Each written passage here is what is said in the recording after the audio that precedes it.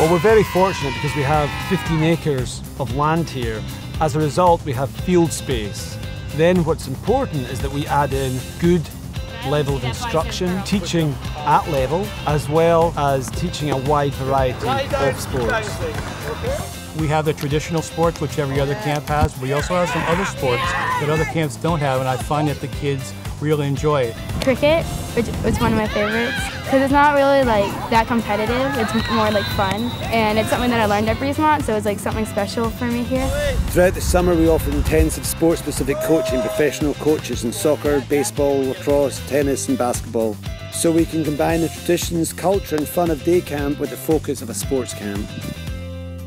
So the great part about this camp is the instruction that we give to the kids is age appropriate. They make it fun because they like pitch well, and then I can hit the ball farther. And then it gives me more ch- of a chance of hitting a home run because I usually hit it only to the pitcher's mound.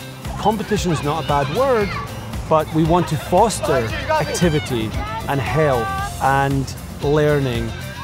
I really like zip lines. First I was scared, and then they like calmed me down, and I went down the zip line, and it was really fun.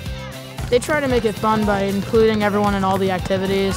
They put the kids that aren't as good as the athletic kids in positions where normally a coach wouldn't. They're very nice, and they're um, not putting pressure on us. If we don't do it, they say good job, and you could try again. My first year, I wasn't really like sporty. I don't do that many sports, but like now, I'm excited to do all the sports, and the people encourage us to do them. We hope that they've gained confidence in the sport itself, but also confidence in their sense of self. Because as great as being able to hit a tennis ball with a tennis racket is, being able to step on the court and be happy with who you are and happy with what that is, is just as important as the skill of playing the sport itself. We want kids to get instruction. We want them to have a good time. We want them to actually remember, you know, what they've done on the field, which carries on into life as well.